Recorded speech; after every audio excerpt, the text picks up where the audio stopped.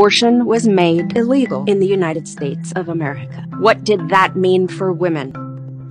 Well, almost 3,000 of us forced to undergo illegal abortions started dying each year. And around the same time, a man named Anthony Comstock, secretary of the New York Society for the Suppression of Vice, teamed up with the Young Men's Christian Association, yes, the YMCA, and managed to pass a series of laws that branded all contraception as obscene, immoral, and therefore illegal. You know, because if a woman had access to a, a diaphragm or a condom, she might actually be able to have sex on her own terms, just for pleasure. So around 80 years later, in 1960, when the first ever birth control pill was introduced, it wasn't legal in some states for doctors to actually prescribe it. It took a Supreme Court case, Griswold v. Connecticut, in 1965 to make it lawful for married women to use contraception. Only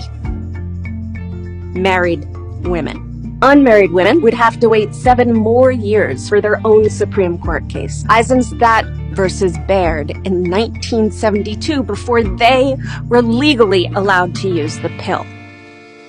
But that earlier case, Griswold versus Connecticut, was important, not just because after the birth control pill became legal, college enrollment for women who had been prescribed the pill by the age of 18 rose by 20%. The law was important because it established that a woman was allowed to use birth control based on her constitutional right to privacy. And that same right to privacy was the basis for the big one in 1973, Roe v. Wade. Why was the idea of privacy so essential in these cases? Because women in America have never been protected by an equal rights amendment in the Constitution. Even today, the USA is still one of the only developed countries in the world with no provision in their constitution that specifically addresses gender equality. And because women in America have never been protected by an equal rights amendment, our right to bodily autonomy has never been explicitly guaranteed. So the only legal precedent that protects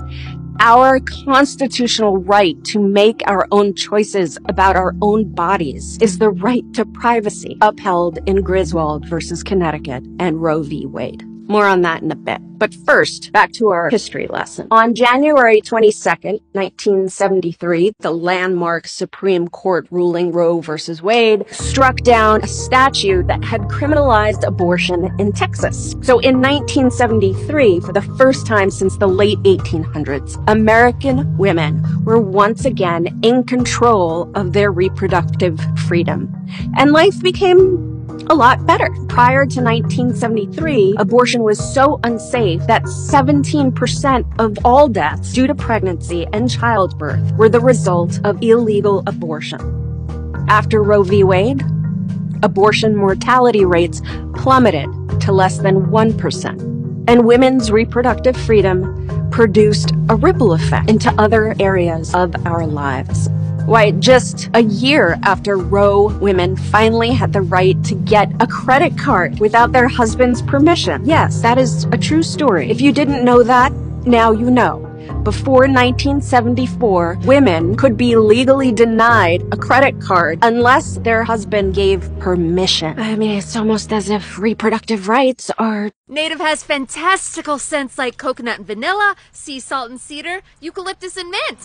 Tied to other rights all of a sudden, women were able to pursue educational and employment opportunities that were often unthinkable prior to Roe v. Wade. But as soon as Roe was passed, the movement against reproductive freedom took one look at all of those women happily controlling their own bodies, going to college, and dynamically entering the workforce. And they said, oh, hell no the anti-choice movement went into full gear, and it hasn't let up since. Conservative Catholics, newly radicalized evangelical Christians, and far-right legislators immediately convened on Washington, D.C. in a mission to politicize abortion, strip women of their constitutional right to privacy, and ultimately overturn Roe. By the mid 80s, violent extremists were assaulting women outside of clinics, murdering abortion providers, and bombing their workplaces. But perhaps most effectively, the war on women was waged in the courts. In 1992, Planned Parenthood versus Casey upheld a woman's right to abortion established by Roe v. Wade. But it opened the door for making access to abortion a lot more difficult. All of a sudden, states were able to pass laws limiting public funds and coverage by private insurance for reproductive care, institute waiting periods and require multiple trips to clinics, enforce mandatory counseling before an abortion, or allow healthcare providers to refuse to perform abortions altogether.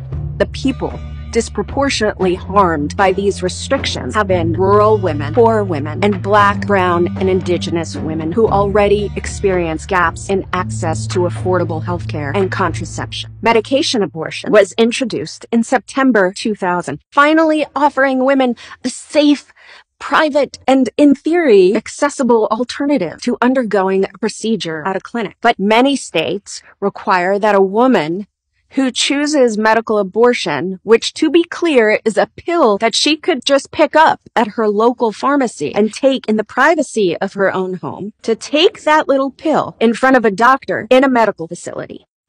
Yes, I know. This history lesson is starting to get bleak, but here's a bit of good news. The passage of the Affordable Care Act in 2010 meant an increase in contraception access as birth control became available without a copay. And the rise in contraceptive access coincided with a steep decline in abortions, which dropped from an all-time high of almost 1.5 million per year in 1990 to less than 900,000 by 2011. Let me repeat that. So this crazy thing happened when women had easy access to free contraception. Abortion rates plummeted. In fact, a study was done in Missouri that proved that if we really wanted to reduce or almost eliminate abortions, we'd make contraceptives free. In 2019, when ironically abortions were at a record low, an overwhelming wave of abortion bans began to sweep through red states in a race to provoke challenges that would rise to the Supreme Court and result in a decision that would overturn or totally gut Roe v. Wade once and for all. 25 abortion bans were enacted in 2019 alone, alongside many more restrictions. Hmm. Now, why would the anti-choice movement push all of these bans when abortion rates are at a record low? I mean, it's almost like maybe it's not about abortion. Yeah.